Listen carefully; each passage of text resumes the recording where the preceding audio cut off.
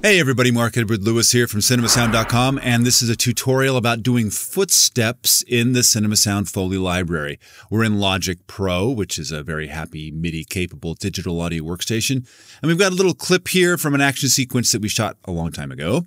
Uh, here with Rivka Ravenwood. Just going to play it for you. We've got the natural sound, her dialogue, some music, some ambiances, but that's it. No Foley. Oh, and sound effects. No Foley, really. So check it out. Here's how it goes.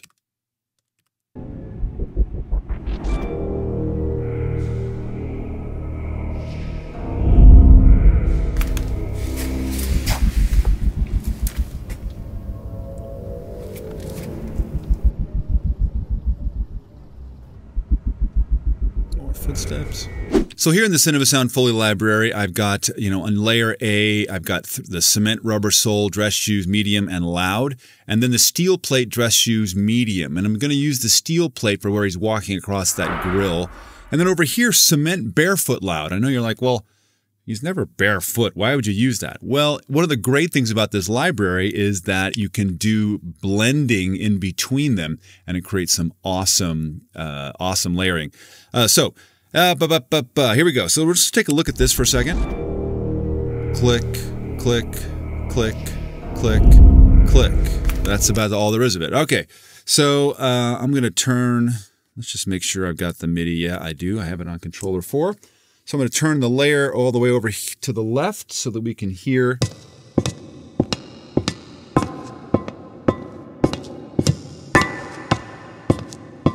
kind of what's here and I'm on the full settings. If I wanted to, I could go to the individual settings by hitting the B0 there and going heel toe and controlling it a little bit better with slides and pickups and all that. But I don't think I need to. So we're just going to go to the B flat. We got all the full steps in here and the slides, which we probably won't use. Cool. Now let's see here.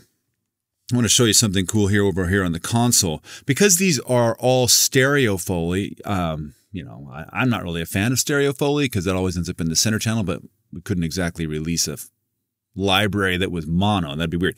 So what I've done here on the console is I've turned on the stereo modeler and turned the width to zero, which effectively makes it mono. I've also stored it as a preset so that I always have it here. Here's mono channel and I just load it up and it immediately makes any of the layers on this that I want to be uh, mono, which is super, super cool.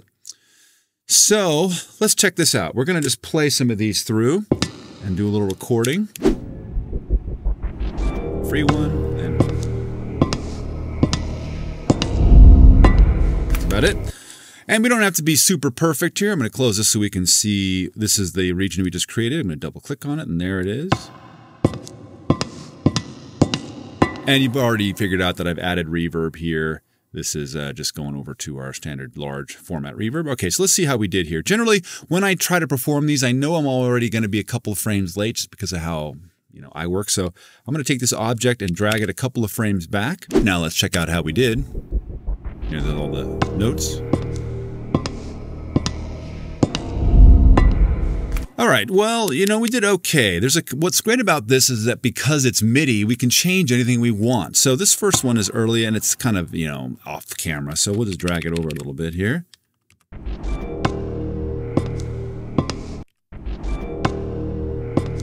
Might be a little early now. And we also don't like that we want to have it have a heel toe. That might be nice. And this one seemed a little bit late the second one here. Yeah, it's a little late, so we'll drag both of these forward a couple of frames. now this one's early, it seems. And this one's weird, so we'll just do that.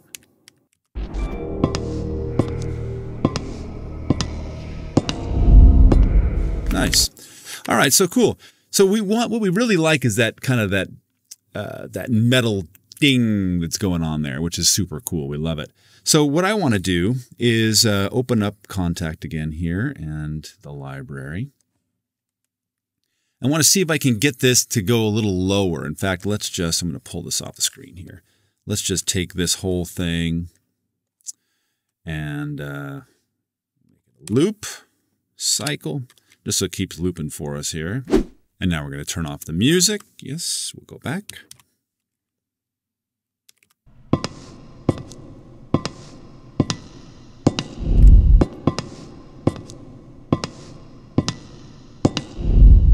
Super dope.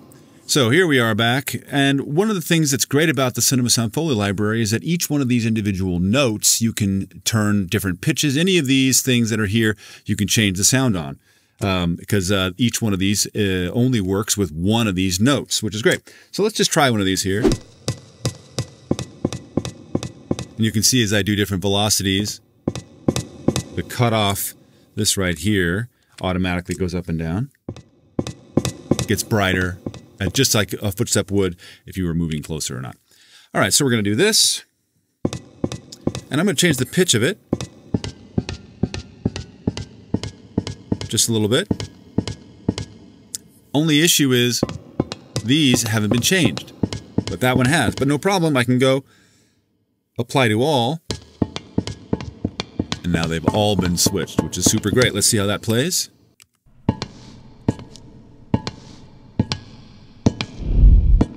Way cool. We love it.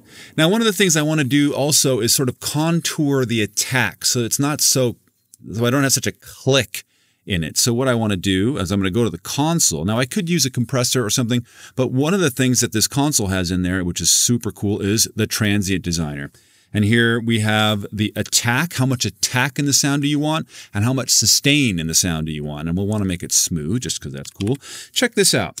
hit play and bring the attack down. Bring it up. And then we have the same with the sustain. Check out, I'll bring, take down the sustain. Now it's just kind of the click and then bring up the sustain.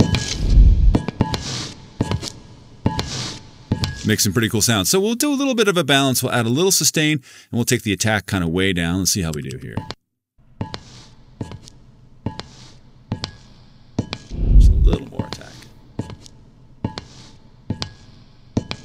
And now let's see, I think that's pretty cool now. Uh, I love that sound. And again, this is after the monoing that we did, all here in the console, nice and built in.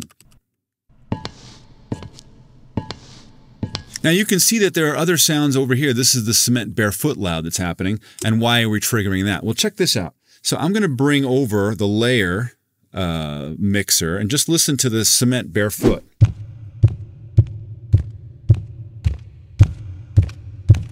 That's, that's a lot of low frequency hump that's happening there.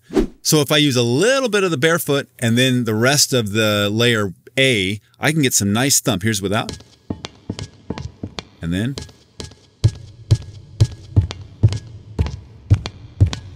Now I've got some nice low frequencies. And since I don't have the transient designer over here on layer two, it can be free to just have a nice low frequency thump in there. Let's see how that flows.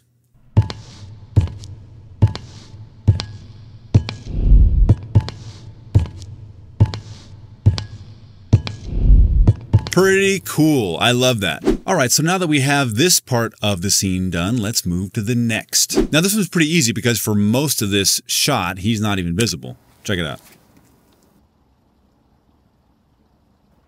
Here's some pre-walk, and we see a step there, and then he's sort of out. So this should be pretty easy. Now I've got these other sounds loaded here, and all I have to do is trigger them with a key switch from the keyboard, and they'll instantly jump. I'll tell you what I'm talking about here. Bang. Now I'm just using keys on the keyboard and they can jump between all of them. So, you know, since I'm going to be making a key switch, we always want to make sure that we start the very first thing we did with a key switch. Otherwise, you know, bad things happen. You'll end up on the wrong one. So we're going to go back here. We're just going to hit the D7 here. Just start it so that we know that the key switch for the steel plate is always going to be the right one. Then when we get to this, we're going to jump down and then try our different key switches before this scene here. So let's see which one we like. Now I still have this cement barefoot thing going on. Actually, it's there for you. Yay. Um, so we want to turn that off. Now I happen to have it on a MIDI controller here. So we want to do some the same kind of thing. We want to come back here where we added that initial key switch. We want to put it just here, hit record, just a little bit of it, and then hit play. There it is. And once we're out of it, we'll get to this next scene. and then we'll turn it all the way off like that while we record. And then it comes back on its own. All right, so let's check out what it sounds like on the C0 sound, the uh, cement rubber dress, rubber sole dress shoes medium, which is okay. Let's see loud. A little bit faster heel toe. And I think that'll work for us. So we'll go in here. I'm going to hit C sharp. And now we're on the cement rubber sole dress shoes uh, loud. And then from here, we'll try to time his steps. Now remember, this isn't going to be the final sound. This is just us getting the data in.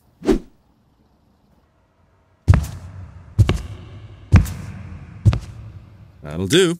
Pretty close since most of that's off screen. And there's the thing I just recorded over here. Let's see if we can find another bit where he walks by, which should be right about here. We'll keep the same sound. Um, see, it's hard to see. Clunk, there, he does one there. Okay, and that should do for him, uh, for that scene. And then when she gets hit, it's not on screen. And then he goes, there's a, so there's a right step, a left, a right, a left. Now for these, because he's walking backwards, the regular full footsteps aren't going to work because they're, they're all pre-programmed to be heel, toe, heel, toe. He's actually stepping backwards, so it's toe, heel, toe, heel. So this recording isn't going to work when we have to use the manual B0 uh, footsteps. And I'll bring this back here so you can see what I'm talking about. So we're right now, we're on the B flat. You can see the keys down here are switching colors for us uh, to go from the full footsteps to heel, heel, heel, toe, toe, toe, toe, toe, toe, slide, slide, slide, pick up, pick up, pick up. So actually, we have to go toe, heel, toe, heel, toe, heel, the other way as he's backing up. And that also lead, lets us know that we need to start a B flat because we're having a key change, a key switch change for B and B flat between the layers here as well. So we'll go back to the top just to make sure that as we switch these, we don't also end up on the wrong uh, key layer. There's our B flat. so we're in the right place. Here's our B natural. Now we're in the right key layer, and then it'll be left, right, toe, heel, toe, heel. Let's see how we do here. Heel, toe, heel, toe at first after he hits her. Heel, toe, heel, toe, heel, toe, heel, toe, and then toe heel, toe heel, toe heel, toe heel. Okay, let's try it.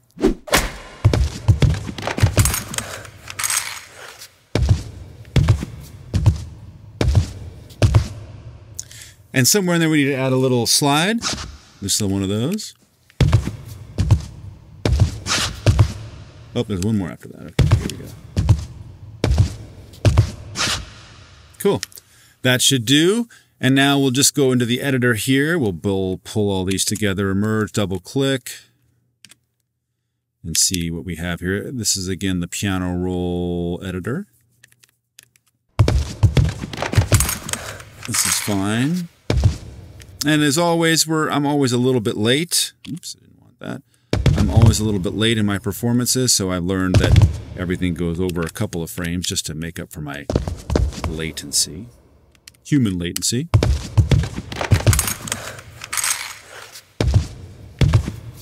Now this one's definitely late.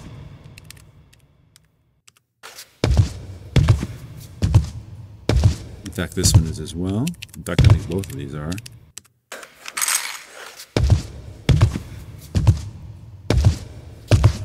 And both of these are here too.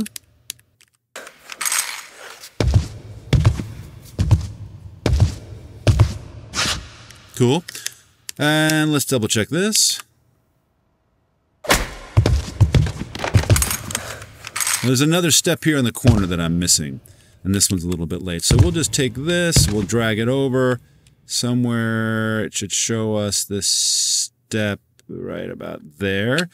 We'll change the pitches of it so it doesn't sound like a machine gun. There we go. And it's actually a little bit, that heel toe there is a little bit faster. There we go. All right.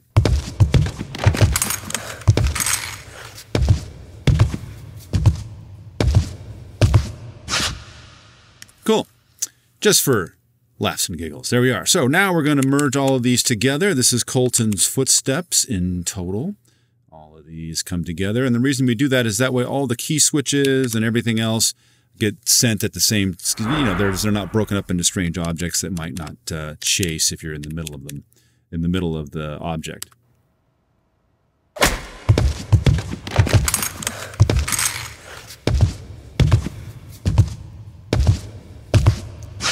Now, obviously, this sound is a little funky, it's a little clunky, and we like it when it was over here. It sounded pretty great.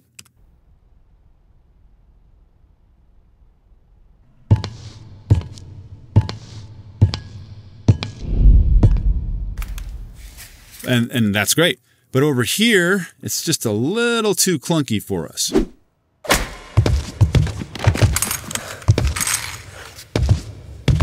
It's just a little clunky here for us. So what we'll want is a high pass filter and the high pass filter cuts out low frequencies and leaves the high frequencies, which is opposite of the default, which is a low pass, which cuts out the highs. There's also a band pass, which we use in clothing quite a bit, which cuts out everything but the mids. And I've assigned it to this MIDI controller here so that as you can see, I have an independent control and play.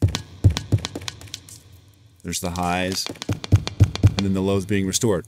So when we're back here in this place, we're in a pretty good space. I'll bring this over so you can see what I'm doing. I'm just going to establish that the that this will be all the way off in the beginning. With a little MIDI information. There, now it's all the way off. Now our original doesn't get cut off at all. And we're going to jump forward to the end here and cut off the low frequencies. It's sort of like having a little EQ built in, which is super cool. And we'll just also re-trigger this so it's on the right sound.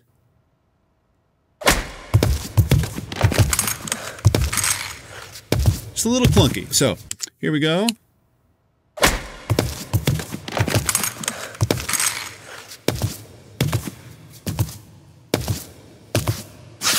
Good. We'll bring it down. Awesome. We love it. Now the rest of this would be mixing and some simple distance to camera mixing, which you would be doing on Foley anyway. We'll just instantiate an EQ here on this channel. We've got a nice high frequency shelf, which is all that really needs to happen now.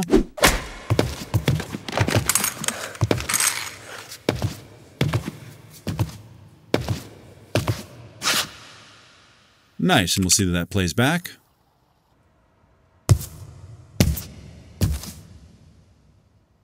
Yep, certainly does. Awesome.